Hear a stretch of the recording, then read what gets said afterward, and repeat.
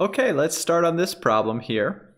So we're given a circuit and we're to use KCL, Kirchhoff's current law, to find the branch currents I1 to I4. So I1, I2, I3, I4.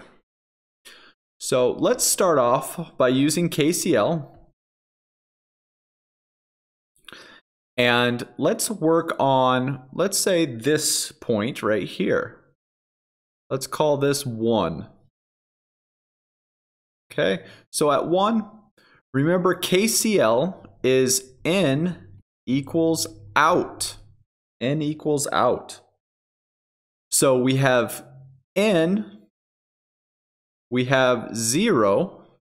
All of these are going out. And we have out, we have I2 plus 3 plus 7. So I2 is equal to negative 10 amps. So that is opposite of the direction of this area arrow. The arrow actually goes the other direction. So the other direction there. So let's keep going. And now let's do this point over here. We'll call this 2. So remember that you can do this in versus out, or you can rearrange this by in minus out equals 0. So we could do either. So let's try this. So we have n, we have I1 plus I2. I2 is going in. And then out is negative 2. So minus 2 here equals 0. In minus out. Okay? And by doing this, we put in here, we put in negative 10, negative 10 into there. And I1 is 12 amps. Okay, so we have I1, I2, and now we need I3 and I4. So let's go to this point now, 3.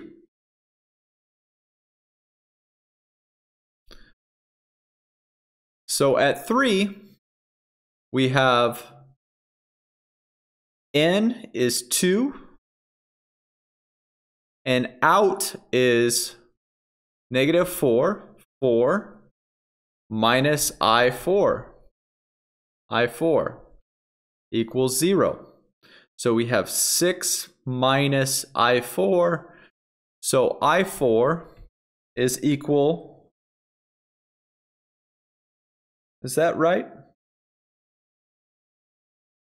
I4, so this negative 2, so I4 comes out to negative 2 amps, negative 2 amps. So I4 is actually going in.